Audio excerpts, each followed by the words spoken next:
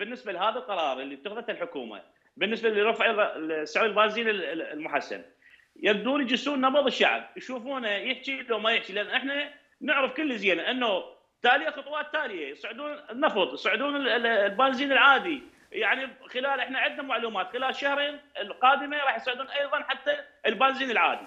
يعني إحنا اليوم آه الشعب العراقي ينظر للحكومة يعني بعين الرأفة بعين الرحمة. أنتم اليوم تعطونا قرارات تفيد الشعب. ما شفنا اليوم أول ما استلم السوداني حكومته لحد الآن ما شفنا قرار يفيد الدولة يفيد الشعب العراقي يعني بالأيام القادمة شيء أكيد راح خطوات تاليه شيء أكيد راح يرفعون البازي البازي العادي.